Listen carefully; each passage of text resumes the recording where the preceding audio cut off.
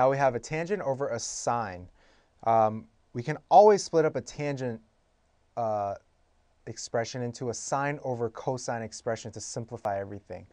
So right away, let's do limit as x goes to 0, sine of 4x over cosine of 4x all over sine of 3x. And if we look at this uh, expression here, we can split them up or simplify it into limit as x approaches 0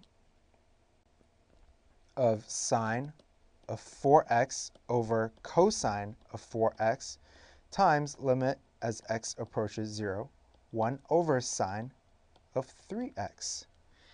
And we can rewrite this again um, because this doesn't really help us in generating any special trig limit definitions to use. So let's rewrite it so that we can use some.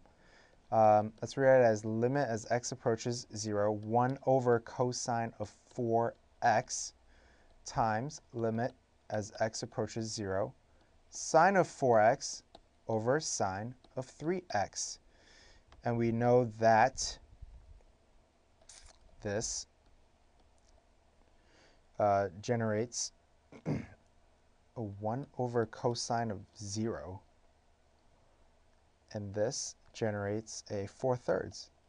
And 1 over cosine of 0 is just 1 over 1, which equals 1. So 1 times 4 over 3 equals 4 over 3, 4 thirds. And those are just some straightforward direct applications of the special trig limits definitions, which you should know very well uh, so you can apply them on the test to solve for the limits of any special trig limits. Thanks for watching educator.com. We will see you on the next section.